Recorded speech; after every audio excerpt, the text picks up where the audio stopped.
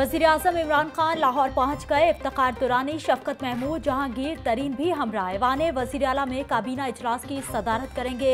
नए बल्दियाती निज़ाम का हतमी मसविदा पेश किया जाएगा। सानहा साहिवाल की जायटी रिपोर्ट पर भी ब्रीफिंग दी जाएगी।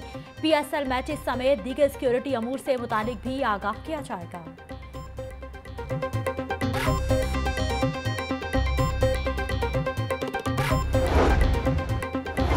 पाकिस्तान का ख्वाह है और अमन की ही जीत होगी। पायलट की रिहाई के ऐलान से हम अखलाकी जंग जीत गए।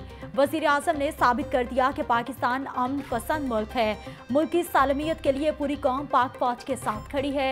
वज़ीर अला पंजाब की अराकीन पंजाब असम्बली से गुफ्तगू।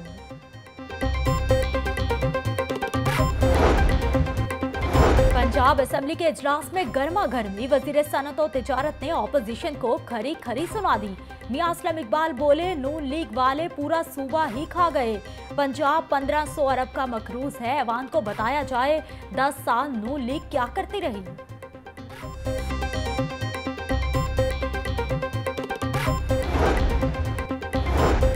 पेट्रोलियम मसनूआत की कीमतों में इजाफा, पंजाब असेंबली में भी महँगाई के तूफ़ान की गूंज। पीपल्स पार्टी हुकूमत पर बरस पड़ी।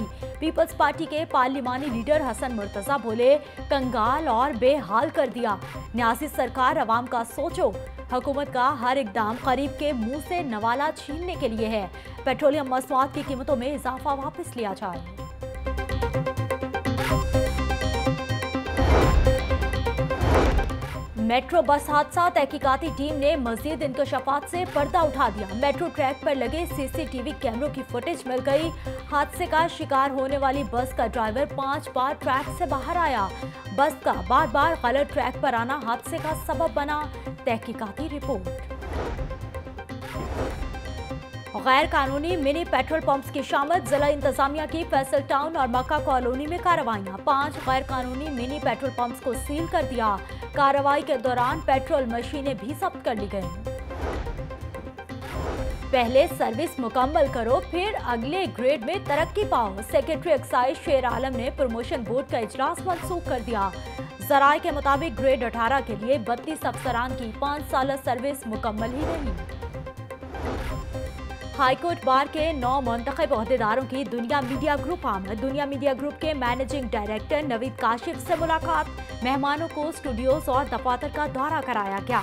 सदर high court bar Hafizur Rahman Chaudhary ने न्यूज़ टीम की अला सहाफती मैार को सराहा। मेहमानों को तहाइफ से भी नवाजा।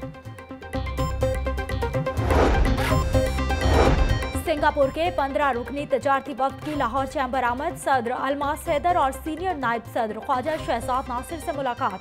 दो तरफा तजारती ताल्लुकात पर गुफ्तगू।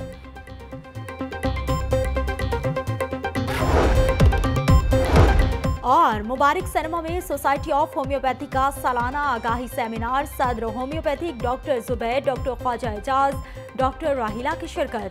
बीमारियों और उनके इलाज मुआलजे के हवाले से आगाही लेक्चर्स। मुख्तलिफ़ होम्योपैथिक कंपनियों के स्टॉल्स भी लगाए गए